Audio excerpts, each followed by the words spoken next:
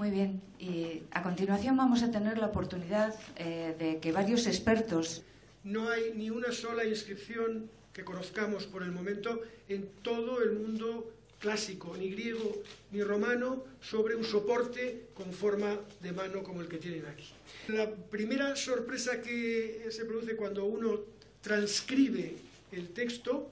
ahí tiene la transcripción, es la primera palabra de ese texto, que es la palabra sorioneku, y que evidentemente eh, dirige eh, cualquier tipo de interpretación hacia una lengua concreta, que es la lengua que denominamos vascona.